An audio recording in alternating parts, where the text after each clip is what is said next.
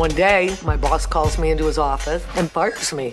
I was devastated. I was a single parent, a woman, and 54 years old. Orange Theory Fitness. Taking data to the next level. I started to have a spare room in my house. Happy Wednesday, everybody. So it is that time to rock and roll. Let's burn! There's so many fitness concepts out there. Nobody was supportive that it was going to work. I wake up every single day to do one thing, and it's be who I was yesterday. This is something special.